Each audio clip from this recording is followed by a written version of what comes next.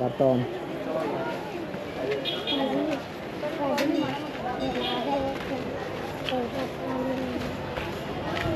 ਇਹ ਯਾਰ ਇਹ ਆ ਗਿਆ।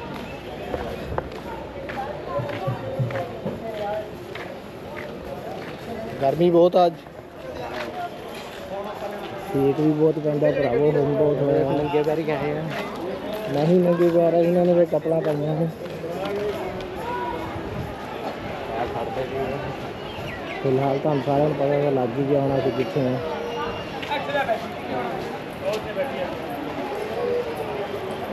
ਹਾਂਜੀ ਦੋਸਤੋ ਕੀ ਹਾਲ ਚਾਲ? ਬੋਲੋ ਕਿੰਨੇ ਦੁਆਰਾ ਪਿਆ ਵੱਟ ਬੁਰੇ ਸਾਡੇ। ਬੁਰਾ ਹਾਲ ਹੋਇਆ ਪਿਆ ਗਰਮੀ ਚਲੋ ਜੀ ਹੁਣ ਆ ਗਏ ਅਸੀਂ ਬਾਬਾ ਜੀ ਦੇ ਦਰਬਾਰ ਤੇ। ਦਰਸ਼ਨ ਕਰੀਏ ਜੀ। ਇਹ ਤਾਂ ਹੋ ਗਿਆ